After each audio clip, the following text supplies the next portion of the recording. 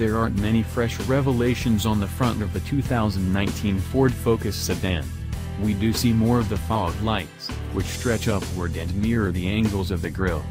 This car also has different headlights than the previously spied one. It uses a pair of projector lenses that take up most of the middle, while the hatchback we spied seems to have a few reflector-style lamps, or possibly LED lights with an LED element running horizontally between them. Both versions will likely be available, but on different trim levels. Obviously the biggest news here is what we can expect from the traditionally more popular sedan body style. With it comes rear windows that aren't as tall so as to match the roofline. Despite that, the glass area still looks quite tall, almost awkwardly so. This is likely due in part to the dip in the windowsill in the middle. Still it should afford very good visibility and an airy interior. The sedan looks to be a bit longer than hatchback, which really accentuates the new, muscular fender creases.